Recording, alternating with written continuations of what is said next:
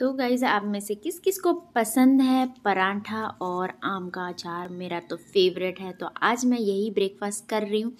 आप क्या कर रहे हो ब्रेकफास्ट ज़रूर बताना, क्योंकि ठंड का मौसम आ गया है मेरे लिए तो फिर मुझे तो यही पराठे और आम का अचार ही पसंद है। पर ज़्यादा परांठे नहीं खाती हूँ कभी कभार ही मैं पराठे खाती हूँ। और माई फेवरेट कॉफ़ी के साथ। ठीक है गाइज़